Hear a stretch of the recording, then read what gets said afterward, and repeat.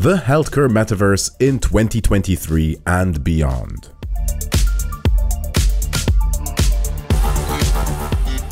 Hello, everyone, dear audience.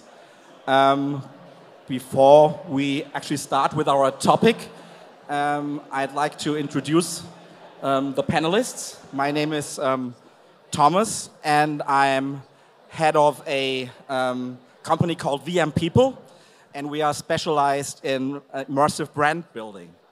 Um, since the pandemic, um, I got deeply involved um, in the metaverse in its most immersive form in virtual reality, in social virtual reality.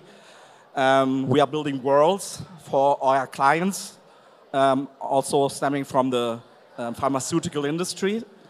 And what is maybe special about us, we organize events, not only about the metaverse, um, they are taking place in the metaverse.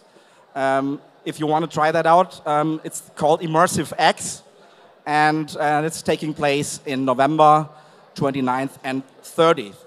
So, um, before we actually start, I would try to elaborate on the meaning of the term metaverse. I often experience when you are in a room like that that you have um, different understandings of what the term actually means.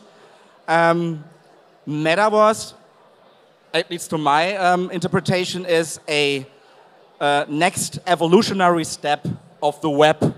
The web will become spatial. You can go into it.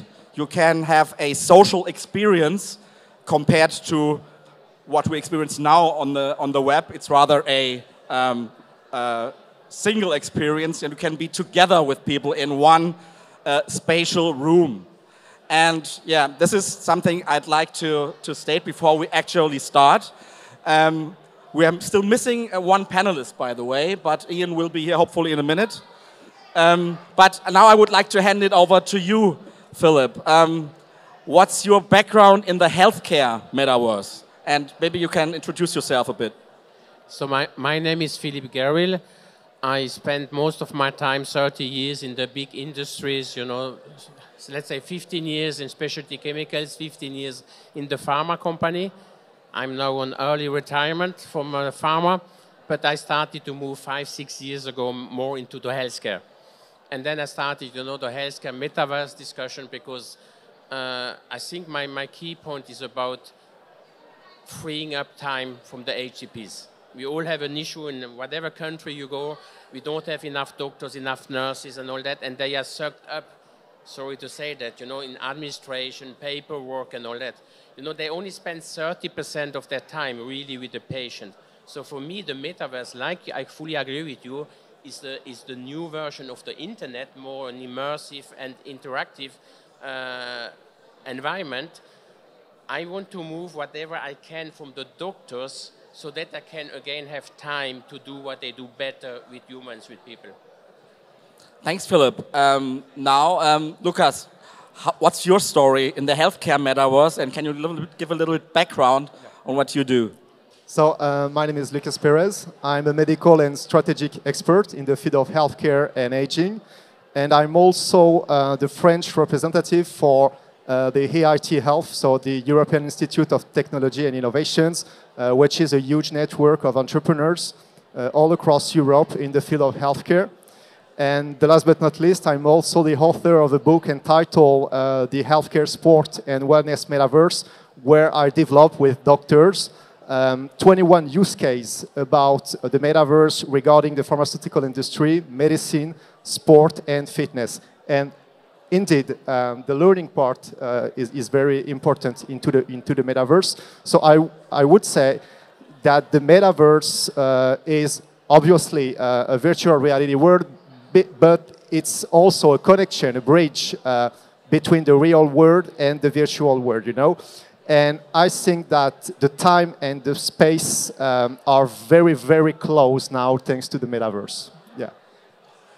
Philip, uh, you've uh, been here last year. In, uh, i am in your shoes now. You're moderating this panel. Um, over the last 12 months, a lot of things happened in regard to the metaverse. Um, what are the yeah, what, what would you like to highlight? So you're, you're right, and, and Lucas was here last year when I was moderating. He was already a, a, a panelist. So I think what happened in one year is still amazing. Because last year we were still talking, you know, it's a hype, it's not going to come. Some people, I still think you have to be careful when you hear about the metaverse, not the healthcare metaverse. You know, there were big companies, you know, even Meta and all that. They invested a lot of money into that, but they start to de-invest. And I'm okay with that because I, not talking about these big players, but for healthcare is really for me a platform, a need more, uh, you know, more immersive, and when you can get access, you know, to, to information, doctors, medical information at the other end of the world. So it's really about getting this access that, you know, I'm, I'm living close, you know, in a small village in, in the eastern part of France. If I go to my doctor, if I go to the local hospital, the knowledge is very limited. So the metaverse will open those doors. So what changed a lot, I think, is also now the, to the, the topic about, and it's not the panel discussion, but it's about generative AI. You know, it's also using now AI to generate some of that content that you need on the metaverse. Because if I want to unload doctors, I cannot ask the doctors to provide all the content because you know then again it's administration, it's all that. So of course I need medical content. I need maybe only a handful of doctors to provide to provide that. But these things are now happening. You know, so I, I'm, I'm an advisor for a company called Aimedis. They already are launching environments, you know, where basically the point is I don't want to have many healthcare metaverse. You know, so I want, as a patient, I want one entry door. And then what they have, like different buildings, can be different company. So you can have, insurance, you can have a pharma company, you can have an education, an, an, an, auditorium, things like that. So these things are now coming. They are start to hit the ground. And, I, and you mentioned about having meeting in the metaverse. I'm supposed to have one this week in this metaverse environment because that's now where also the things happen. It's not just PowerPoint, you know. So really uh, real metaverse environments are now hitting the ground? Um, if, I, if I'm a doctor somewhere in a rural area, um, can you elaborate a little bit on how specifically the metaverse would help me to make my um, everyday work a little bit more less complex? So, so they are two things, yeah? They are the patient and they are the doctors. So of course, for me, it's still potentially more for the patient to get the access, but also for the doctors. So the whole medical education.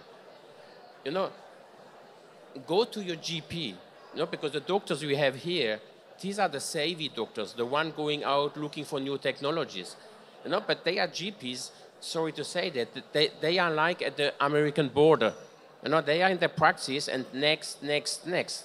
And the average GP visit in the UK is 10 minutes. In Germany, seven minutes. In Switzerland, in seven minutes. And then I talk, talk about India, where you have 300 patients one day. So what is human in that work the people are doing today? I'm saying today, despite the unnecessary fight that we do between AI and the doctors, the doctors are not human. They are robots today. And only if I can release a piece of that admin work, you know, paperwork, data entry in the computer. They don't look at you anymore. They look at the screen. So if I can remove some of those pieces, moving it to the metaverse and whatever, then the doctor has again more time. But again, the whole medical education piece. When is a doctor getting upskilled today? He has no time. You know, so in the metaverse, he can get upskills 24 hours 7. He decides when he has time to go and he can access worldwide information, not just his local information, going to the next city and, and attending a, an upskilling uh, session. Um, Lucas, um, you uh, run a, a, YouTube channel. You've also written a book on the metaverse, so uh, there seem to be a lot of things on your radar. What mm. did you um, see on this yeah. radar over the last 12 months? Yeah. Um, first of all, I, would like to say that the metaverse isn't dead yet. So we talk about the metaverse. Uh, the metaverse was a buzzword um, two, two years ago, maybe. And I, I, would like to say that the metaverse is alive. Um, the metaverse, to take you an example, um, represents $100 billion of virtual good, especially uh, in the sector of uh, gaming and, uh, and wellness. Uh, a lot of uh, skills, a lot of avatars uh, have been sold in, in the metaverse. So it's important to say. And for healthcare, we saw a lot of use case, especially for disabled people, for seniors people, and I think metaverse has a real uh, value, a real added value for uh, this type of people. As proof of that, uh, the medical learning is uh, being gradually developed uh, into the metaverse. Uh, for example, we have recent studies in orthopedic surgery, in dentistry and ophthalmology that prove that the metaverse is very efficient for the doctors, for the doctors' performance, metaverse enhance uh, the doctor performance uh, outside of the operating room, uh, for example, with a low risk for the patient, and it's important to say. Uh, the second point I would like to uh, raise today is the fact that in the new metaverse, and, and we, we see that this year, is the fact that a lot of projects uh, using all this concept of identity, of culture, of community, and it's linked to the metaverse, especially for what we call the blockchain-based metaverse. And in this blockchain-based metaverse, uh, identity could be proved uh, through the notion of the decentralized ID. And to give you an example, I would like to mention a Spanish company called DNA Verse. DNA Verse use what we have uh, the most precious uh, as a human being, it's our DNA thanks to our DNA, we can prove our identity, maybe into the metaverse. Uh, it's, it, it's, in progress. And this company wants to uh, trade, if I can say, uh, this uh, genetic information to prove uh, your identity into the metaverse. So it's linked to an healthcare purpose in order to prove your identity as a patient, for example, and it's a use case I developed in this book. And the third example I would like to raise, in, it's an example in Australia. In Australia, uh, you know, um, haptic technologies uh, are used are, are used by um, the governments, uh, for example, for disabled people, in order to feel, in order to have another experience. And for example, uh, there is in Australia a festival called. Um, Hi, Ian high-end the, the ability festivals where people who are suffering of deaf or hard of hearing use haptic technology to replicate some stimuli and feel the world, the real world, but also the virtual world uh, in another way, you know. And it could be a use case. It could be uh, a perspective to merge uh, the metaverse, this virtual reality world, with the virtual world thanks to this technology, the haptic technology. So metaverse is also about hardware, and it's important to say. Ian, nice to have you. We already started. Sorry for that. Yeah. Um, but uh, we'd like to onboard you. Sure. Right now, we um, we're just talking about what happened over the last 12 months, and maybe you can give a little background on what you do and what you what your observation have been in the last 12 months. What is new in the field of the metaverse? Yeah, so uh, first of all, sorry I'm late. Um, there, there's a lot of exciting things going on in, in the metaverse. Um, different countries, uh, from the US to South Korea, uh, even China. Uh, but if you look at it, can divide it into two main things. One is training. So for the physicians, they can do a lot of training virtually uh, using AR and VR. And the second most uh, important part is in mental health. So there's a lot of countries wherein, uh, as you guys know, there's a huge shortage of mental health professionals. You can't get to everyone. But with the use of the metaverse, AR, VR, you can immediately be transported into an area to provide mental health. So those are the exciting things going on. And, and maybe if I want to add that, it's very important because we didn't talk too much. We start now the discussion about the hardware. So my point of view, there are some use cases where you need the hardware, the VR. And you mentioned, you know, mental health and all that stuff. But for me, there's still also healthcare metaverse without VR. Because if I want to reach all the people, so that, but from a medical point of view, as you said, mental health and all that, and and I think the key point is also it's not about just doing what we do in the physical world in a virtual world. They are new use cases, they are new opportunities, and mental health for me is also a good example because some people don't go to see the doctor because of mental health. Usually, the patient is the last one to recognize that he has burnout or depression. The people around him are telling him. But in the metaverse, it may be not an, the same issue to talk to a physician because you are in a virtual world, and then you can also talk what you said about the community. So usually, patients are more open to talk to other patients having the same issue than to somebody to say they, they don't understand me. I don't know if you have people here who have had burnout or depression, but usually the people who have not gone to that don't understand why you are depressive. You know, you have everything. You have money, you have work and all that. So why? So that's the point where in a community, in the metaverse, there is also a lot of interaction for that. Um, as much for, for the status. Now let's do a little time travel. Um, five years from now, how will the metaverse look like? Ian, um, how will the professional life of um, healthcare professionals will change? Will, for example, uh, mixed reality headsets become as popular in a, the medical practice as the stethoscope? Uh, so five years into the future, for, for the US, it's still the same. Why? because a huge, a huge problem is not the technology. Obviously, in California, we have Google, we have Facebook, Meta, all that. But the problem is regulation. The problem is reimbursement. So five years from now, I actually see other countries being far ahead in the metaverse, uh, particularly Germany and China, because they're not restricted by the restrictions we have in the US. Everything is driven more by reimbursement by insurance. That being said, uh, I'd like to add on to your point, which is I don't know if you guys know, the number one cause of disability throughout the world is depression. And every year, there's 10 million more people that are added to the list of patients who have dementia. And the metaverse, you know, using the technology to keep your cognitive functions up can help decrease that. So there's a huge need for this technology, uh, but I'm more hopeful for other countries to figure this out in five years. Um, so regulation is a big issue. Um, obstacles we would have to overcome to make the metaverse expand. Um, Lucas, what would you say? How do we come these obstac uh, obstacles?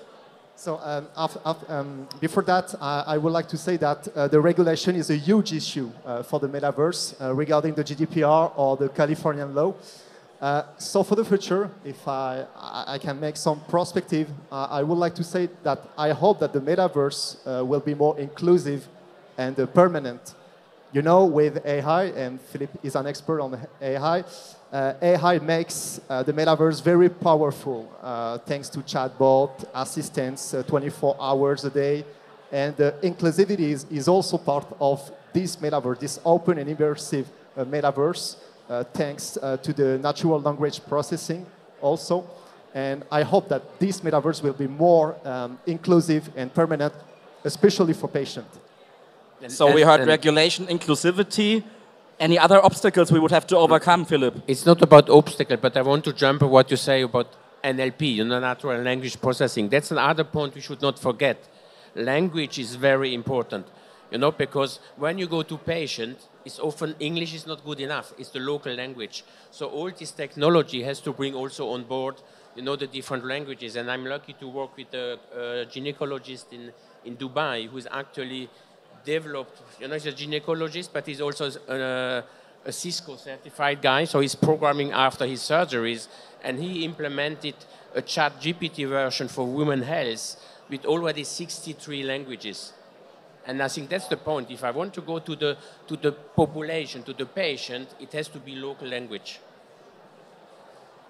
Um, thank you very much. Uh, now we go travel back to uh, 2023, and I would like to open up this panel to um, questions from the audience. Um, there is one.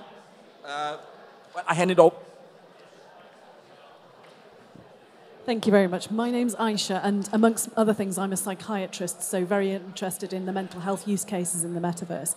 So I absolutely am fully on board with the fact that having peer support for those people that are socially isolated can be extremely beneficial. But I also wonder about the double edged sword that are online communities because we're all aware of the negative impact potentially of social media. So it comes with its good side, it comes with its difficult and problematic sides as well.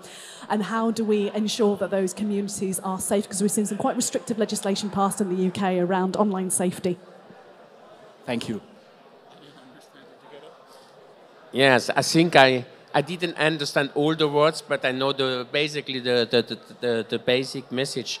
And I think the key point is again, it's the example I gave. It, it was too long to tell, but we need the medical expert to validate this kind of content. And that's actually why I mentioned this example of, about my colleague in Dubai.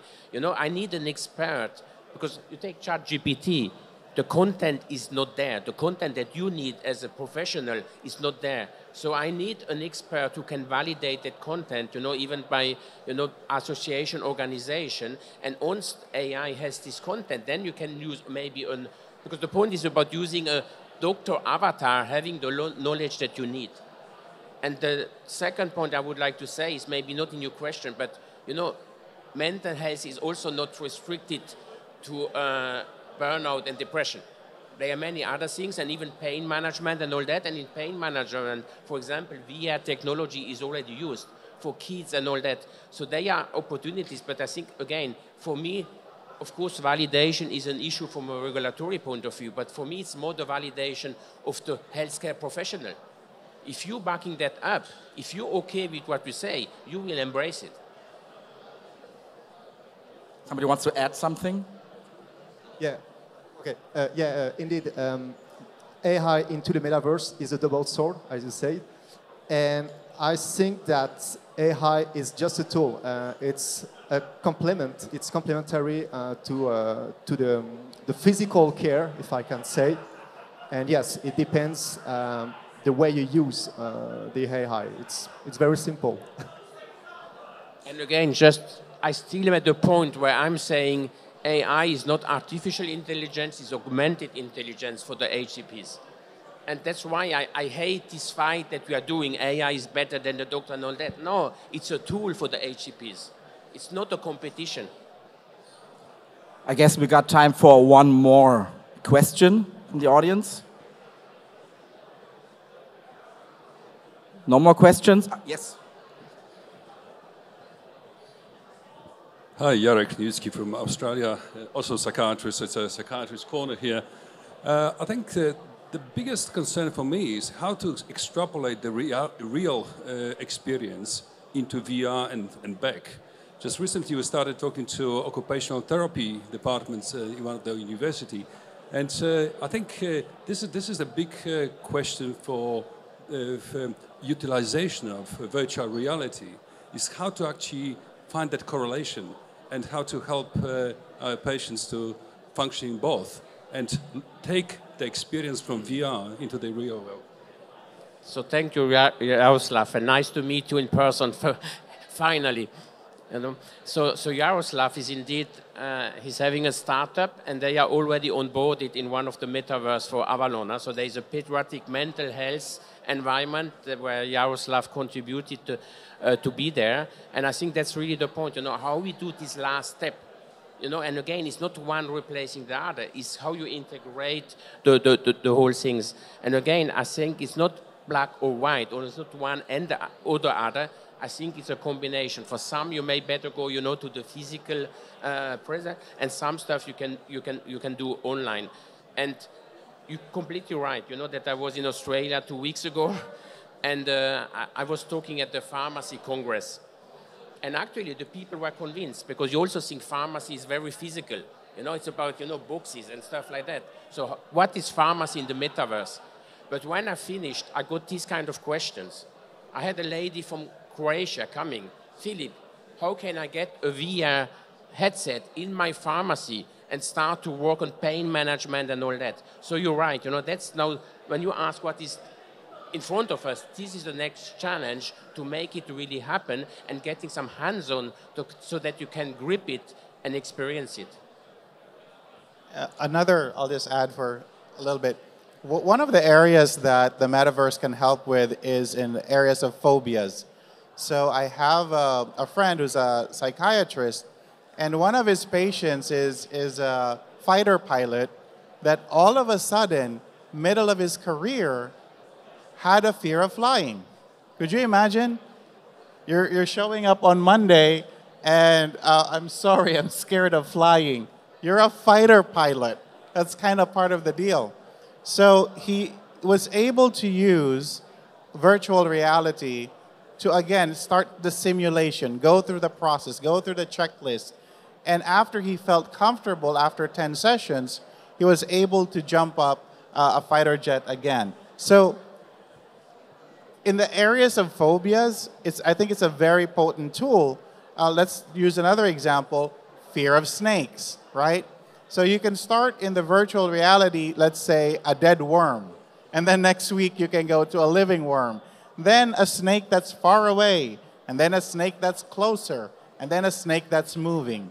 It's really hard to bring a live snake into your office. I think there are some permits for that.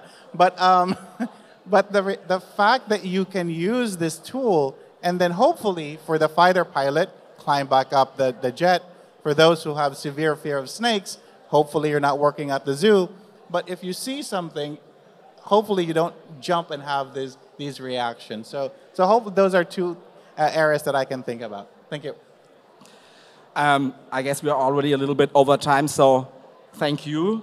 Thanks to the audience for joining the session. Thank to my fellow, thank you for your my uh, panelists, my fellow panelists, and thanks for MedTech for having us.